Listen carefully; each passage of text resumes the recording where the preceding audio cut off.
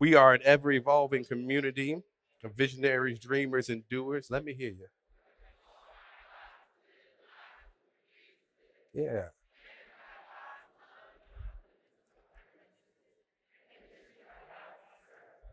Amen. And here at FCBC, what do we say? We live, we love, and we serve.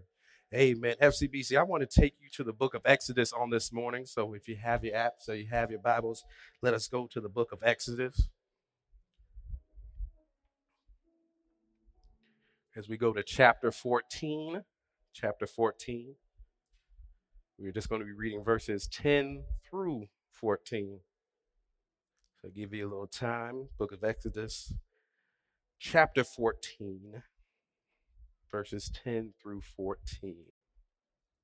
Exodus 14, 10 through 14 reads as such As Pharaoh drew near, the Israelites looked back, and there were the Egyptians advancing on them. In great fear, the Israelites cried out to the Lord. They said to Moses, Was it because there were no graves in Egypt that you have taken us away to die in the wilderness? What have you done to us, bringing us out of Egypt? Is this not the very thing we told you while in Egypt? Let us alone and let us serve the Egyptians. For it would have been better for us to serve the Egyptians than die in the wilderness. But Moses said to the people, Do not be afraid. Stand firm and see the deliverance that the Lord will accomplish for you on today. For the Egyptians whom you see today, you shall never see again. The Lord will fight for you, and all you have to do is keep still. Amen. Go to God in prayer with me.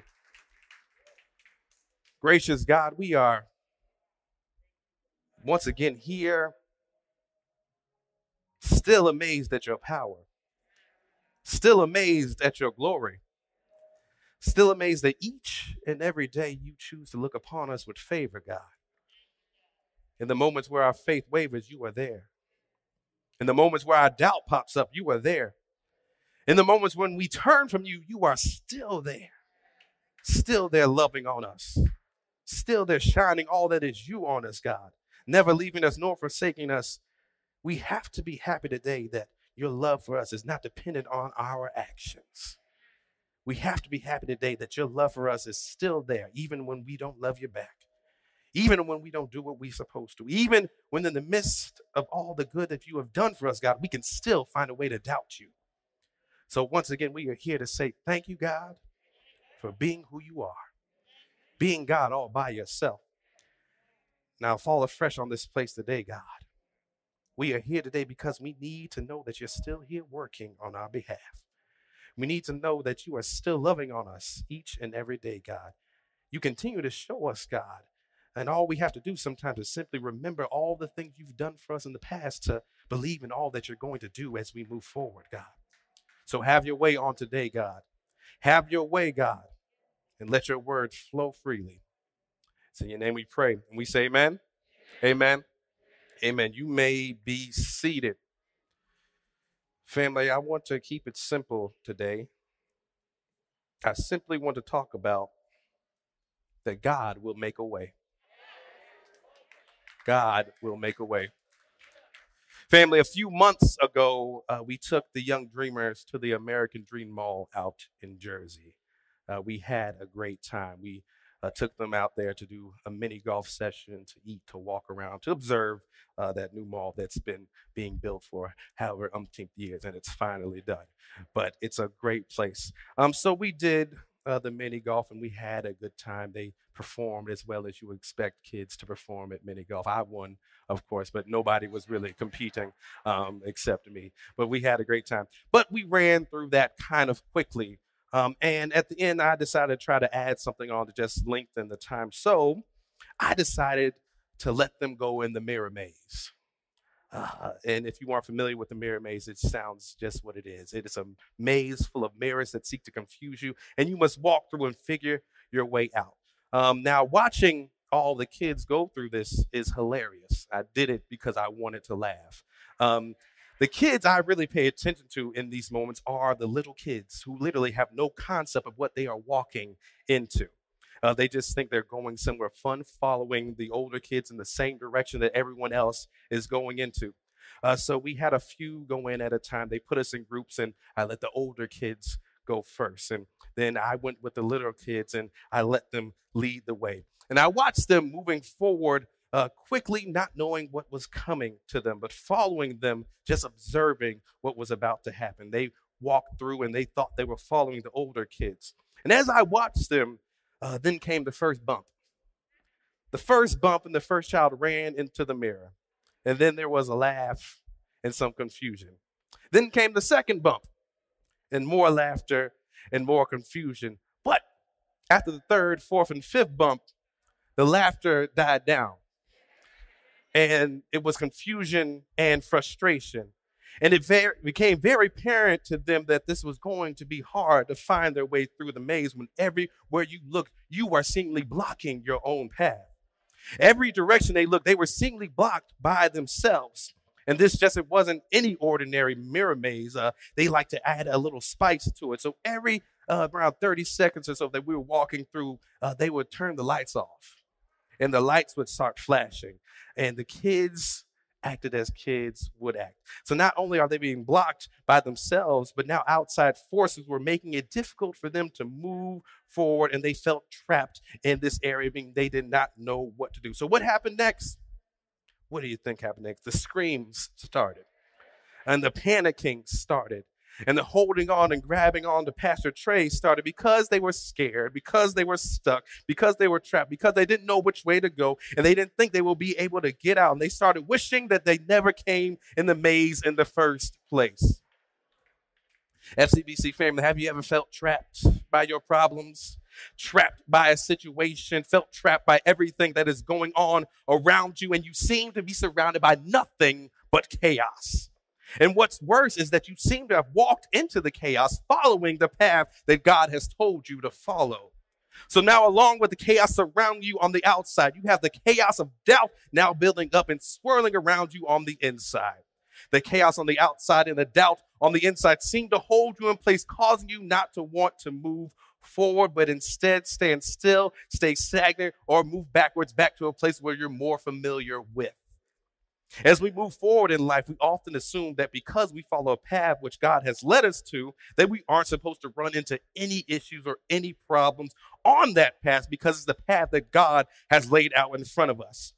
But what I want to let you know, family, is that even when you follow God's path, there will be some challenges on that path. Things will try you, things will try to make you doubt God, and things will challenge your faith and make you wish that you never were pushed by God in the first place to where you are right now.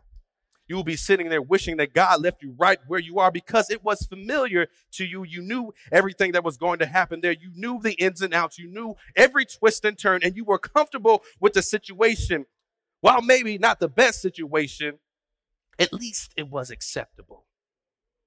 You see, we often mistake our comfort areas as the places God wants us to be because we feel that everything is the best it's going to get. The level of comfort has make us think that God wants them to be this way, and we are here because God wants us to be here, and we should look at things as being great. But sometimes God has to come and force you out of your comfort zone and move you towards somewhere else because ultimately God knows what is best for you. And God wants you to step out of that area that you've been stuck in and move somewhere else that will challenge you, that will make you better, that will grow. And whether you know it or not, God is always working on your behalf, trying to make your life better. But once things get a little uncomfortable, family, once things become a little unfamiliar, we tend to stop in our tracks. We tend to stay put and we tend to start panicking because we do not want to delve deeper into this uncomfort, deeper into this unknown, deeper into something scary, into something we might have thought that was going to be easy, but turns out to be harder than what we are currently experiencing. Does anybody lay down at night and their worries go to bed with them? And you tell yourself, if I could just get a little sleep, things will look better on tomorrow, only to find the same situation staring at you in the face as you wake up. They're almost like shadows. You can't outrun them, you can't get away from them because they are going to follow you everywhere until you turn around and face them. And not only will these worries and problems be in your face when you wake up, but they will continue to follow you during this time, and you start to think that there is no end to this situation that you have gotten yourself into. You start to think that you will always be here. You start to wish that you've never stepped out of your comfort zone in the first place, and you start to question God and what God was thinking when God asked you to move forward. We will start to think that the presence of an uncomfortable situation in your life signifies that God's presence is no longer with you. And you will sink even deeper into your own fear and your own despair and your own doubts. And you will start to believe that there is no hope for the way out, that it is even futile to even try to see some light in the middle of the darkness. But if we just do that, we will be feeding into the negativities of that thought. The strength of futility is the thought that it equals apparent finality. We will begin to believe that things will never change. We begin to believe that things cannot get any better than this. We begin to believe that God has forgotten about us in these moments just because things get a little uncomfortable, then we can bear. And we need some reassurance for ourselves that there is hope. But sometimes we get so stuck in the thought that there is no hope that we need to be reminded that God is present. When God is present, there is always hope. And when you feel like this, you must realize that it is way too early to give up because when God is present, there is no reason to doubt. When God is present, there is no reason to fear. When God is present, there is no reason to get concerned because it's not over until God declares it is over. God has to have the last word in these situations, and you cannot rush God no matter how bad the situation may seem. In the midst of your discomfort, you got to realize that you're still standing despite your weakness, despite the bad situation, despite the uncomfort, despite your own self doubt. You're still here and you're still standing because God is with you. And as long as God is with you, there is nothing that can come against you, nothing that can take you down, nothing that can take you out, nothing that can stop you from moving forward because God is with you. As long as you believe and keep moving forward and doing what God asks you, God will always make a way.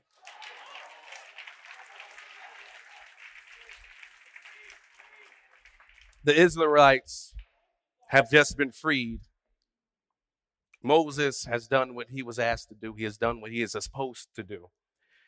He had achieved victory. And now they are headed out of the land of their persecutors. But Pharaoh has not given up yet. He cannot just let this man come in and take his slaves away from him and his people. He cannot let this unknown God have victory. No, he must retaliate. So he chases down Moses and his former slaves and seemingly traps them with their backs against the wall. And now the newly freed people have nowhere to go and are not only fearing, but their freedom before their very lives.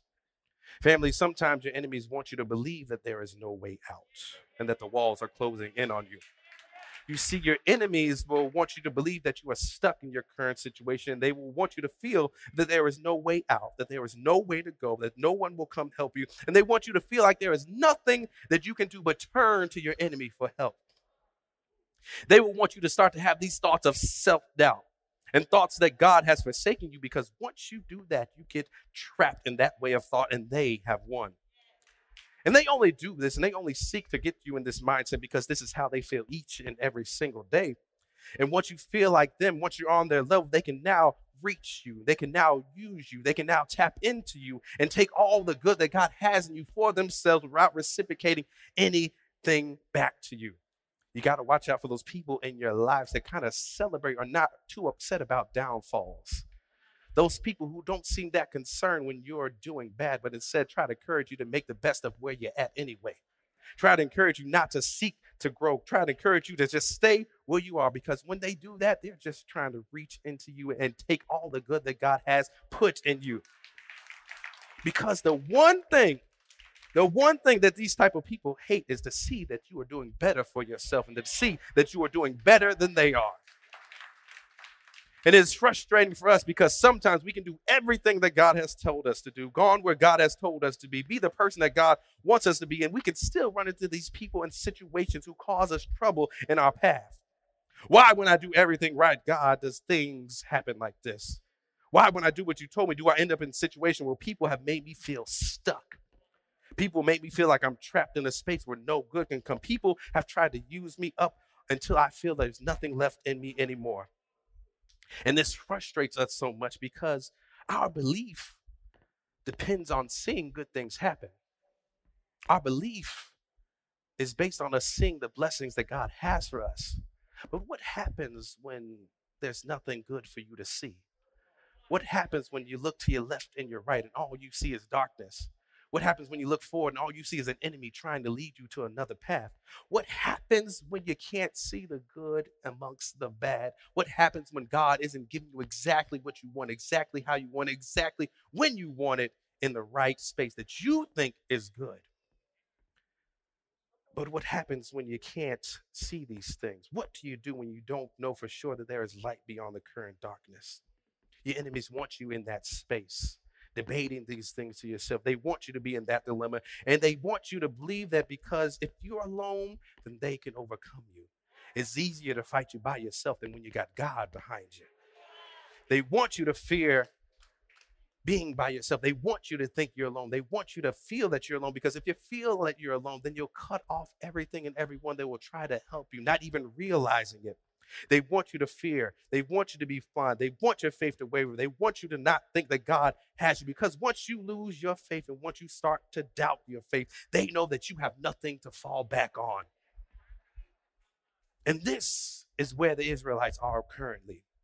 As Pharaoh and all his army pursues them and overtook them as they camped by the sea. And when the Hebrews saw Pharaoh, the books say they screamed out in fear. Their faith seems to be dimming all the good that has recently happened seems to be ending. The fear grows stronger and stronger. And we've been in this situation before where bad things are surrounding us, when everything seems to be crumbling around us, when we are trying so desperately to hold on to all the good thoughts and the good feelings that we once had, but cannot because of all the present chaos seems to be overwhelming us. But when things like this happen, when you're surrounded by the negativities of life, surrounded by people who are against you, surrounded and consumed by your own self doubt, you cannot give in to it. You got to know that you have no reason to fear because the Lord is your light. When you're in these times and see no way out and have nowhere to go, you must continue to trust in God even when things seem bad.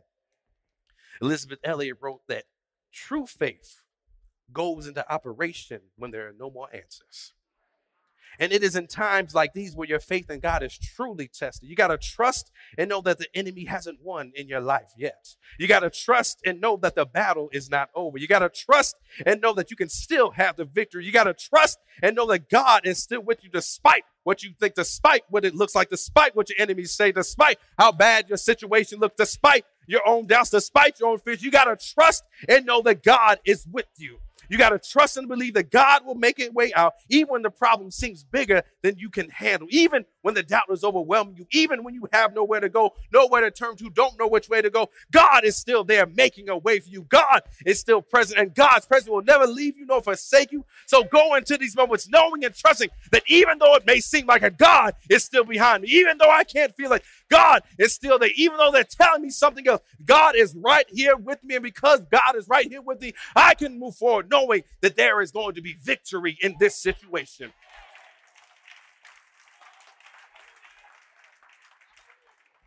The Egyptians are upon them. There is no direct escape. Death in front of them, the sea behind them. What were they to do? Then we see their doubt go into full effect. They said to Moses, Was it because there are no graves in Egypt that you brought us to the desert to die? What have you done to us by bringing us out of Egypt? Didn't we tell you in Egypt, leave us alone and let us serve the Egyptians? It would have been better for us to serve the Egyptians than to die in the desert. Why would God deliver his children out of servitude only to allow them to be plagued by the enemy? Their doubt has taken a new level such a level that they want to go back to this place that seemed comfortable, a place where they were enslaved. How bad is it that you fear moving forward in the direction that God wants you to do, that you turn back to situations that were literally breaking you? Situations where you couldn't even see the light of day. Situations where people and things around you were sucking the life out of you situations that were literally causing you to struggle to get out of bed each and every day, situations that you thought you would never get out of, situations that you prayed to get out of. But when we go back, at least we know how to function while falling apart. At least we know how to operate in the bad. At least we know how things are. Even if they're bad, we can still walk amongst this dysfunction, this bad things happening all the time, these situations that we ask for. We forget about all the tears we cried asking God to help us. We forget about all the times we prayed to God, begging God to get us out of these situations. How ungrateful we can be when God gives us exactly what we want. When we ask for what we want, but when we get it, things are a little different than what we thought they would be. You asked for the new job, but now you got to work a little harder and it's pressing back against you. You asked for that new relationship, but now you have some dysfunction and you actually got to work things out together, but you don't know how to. You ask for these things to better your life, but you're not prepared for what it takes to continue to move forward, to continue to grow, to continue to better yourself, and continue to get where you want to. We often think that when we ask for things and God gives us to them, things are just supposed to work. But I don't know about you, but when I was little and I got new toys, the directions say you will have to assemble them yourself. There are some things that when you get, they're not just going to come ready made for you to get. God will give you the pieces of what you ask for, but you're going to have to put those pieces together to create what you want, to be able to do what you need to do, to be able to go where you need to go. And you're not just going to do that by sitting around and standing still. You got to work at some of these things. You got to be willing to go above and beyond what you see in front of you. And you got to be able to trust that God has put you and given you exactly what you need right when you need it, where you need to be. So don't doubt in those moments. Take what God has given you and create something new, create something better. Work and get to where you need to be. Things are different when God asks us to step out on faith and it ends up looking different than what we thought it was. Comfort gives us that false sense of security. Remember, just because you are comfortable doesn't mean you need to be there. It doesn't mean you need to be there. That comfort can cause us to linger in spaces we should have left two years ago, in situations we should have been out of at jobs you should have quit a long time ago when the boss kept trying you and you just kept smiling, putting on a nice face because you thought this was the best job you needed and you couldn't get another job. No, step out on that faith. Step out and move forward. God doesn't want you to be there just because it's comfortable. That comfort can be a dangerous thing. That comfort can make you think life is as good as it gets. But just because it's comfortable doesn't mean that's where you're supposed to be how crazy it means to for the, the Hebrews to say we should have stayed slaves. I wonder how Moses felt at the time. All this hard work he put in. And now the people are telling him, You should have left us where we were. You should have left us where we were begging to get out of. You should have left us in the situation, spaces that were draining and killing us slowly each and every day. You should have left us there. But Moses doesn't let the words affect him. He answers the people, Do not be afraid. Stand firm, and you will see the deliverance that the Lord will bring you today. The Egyptians you to see today, you will never see again. The Lord will fight you, for you only need to be still. In other words, chill out. Let God do what God does best. You see, every problem we face in life is an opportunity to see God's work. Victory is not obtained by standing still or going backwards or doubting. Victory is obtained by going forward and knowing that God has got your back, knowing that God is with you, and knowing that God orders your steps. Don't stay still feeling bad about yourself, wishing you could go back to how things were because things are a little difficult. Stand up and walk forward, knowing that each and every step you take is a symbol that God is working on your favor the Lord said to Moses, Why are you crying out to me? Tell the Israelites to move on. Raise your staff and stretch out your hand over the sea, divide the water so the Israelites can go through on the dry ground. You see, sometimes God has to show us exactly who God is because God knows how we get. God knows that we like to doubt. God knows our faith wavers. God knew the Israelites would have doubts as they move forward. He knew they would have fears as they move forward, despite all they just witnessed in Egypt, despite all the miracles that they just saw. So God has to lead them in directions of impossibility because sometimes we need to be reminded about the power of the God that we serve. Yes, their situation seemed impossible in their minds, but for God, it was nothing. These moments will come right when we are about to give up all hope, right when we are about to succumb to all our fears, right when we are about to give up on God. You just lost your job, but somehow you still got paid. Your paycheck was a little short this week, but there was still food on the table. You shouldn't be walking after that accident, but you're running right now. You didn't think you could get that degree, but yet you were walking across that stage. You didn't think you would make it through the week, but yet you are here in FCBC on this morning. So you ought to give God some praise.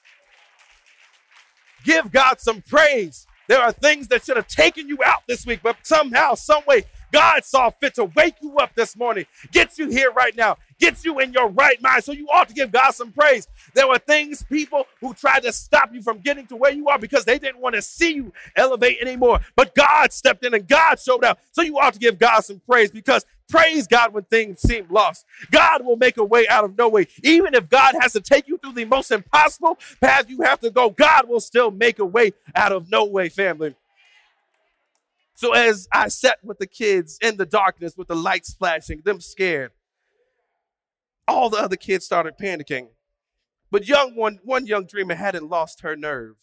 And she shouted out, Pastor Tre, are you still there? And I simply replied, Yes, I am right here.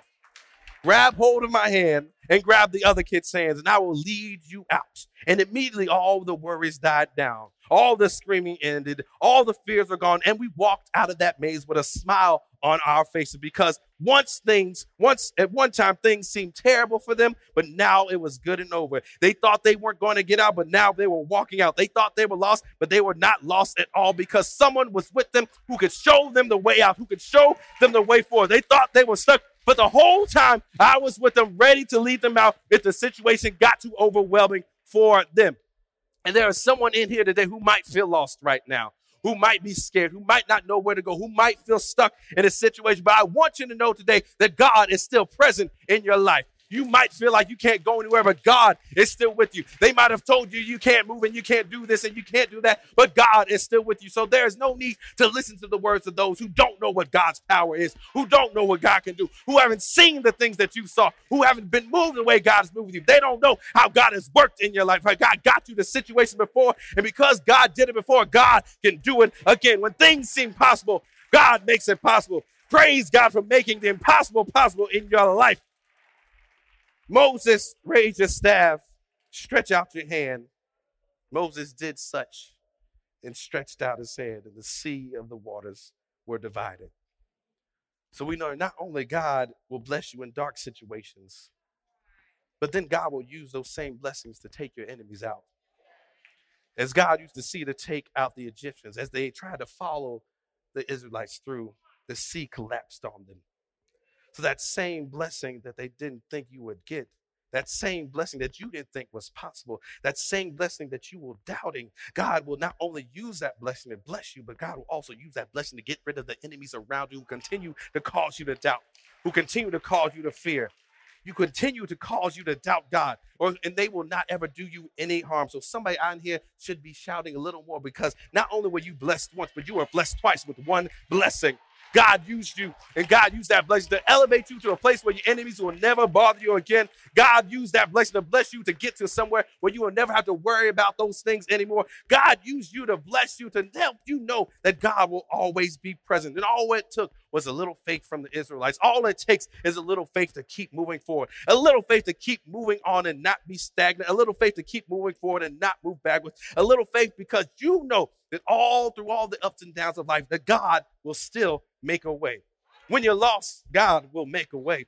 When you're struck down by your own thoughts, God will make a way. When you think you can't go any further, God will make a way. When the situation looks bad, God will make a way. When your enemies try to block you, God will make a way. When it's time to give up, God will make a way. When you think you're lost and it's time to throw in the towel, God will make a way. God will make a way so that you will have the victory. So trust and believe that God will make a way. Don't ever let what's going on around you change your perception about God. No matter how much chaos seems to be in your life, know that God is present. And because God is present, God will always be there for you, even when you feel the chaos overwhelming you. Be there for you to lean on when you feel like you're about to fall. God's presence will be there to give you the courage you need when you're scared. God's presence will be there when you think all is lost. And His presence will be there to allow you to keep moving forward because God will always make a way for you. Trust and believe in this fact, family. Trust and believe it. Why should you believe it? Because you're sitting here right now. If God hadn't made a way for you, you wouldn't be where you are in this moment. If you look back over your life, you can remember the times where you didn't think that you could make it, but yet you sit here right now, standing tall, healthy, alive, and breathing because God decided to make a way for you, even when you didn't think that there was a way to be made. Too often, we let the chaos of this life surround us and overwhelm us. We let the chaos of this life change our thoughts about the situation. It is crazy that despite all the things that God has done for us in the past, we can still let things cause us to doubt how God will move moving forward, how God will work in our lives moving forward. God has made ways time and time and time and time again. But yet we can get into moments and times where we feel that things are too much for us to handle. But the tricky thing is that we get into those moments thinking we're by ourselves. You are never alone, FCBC. God's presence is always there with you. There is no reason to think that you're going to any battle by yourself, no matter how bad it seems. God's presence is always with you. And because God's presence is always with you, God will continue to make a way. Amen. Amen. Won't you stand with me?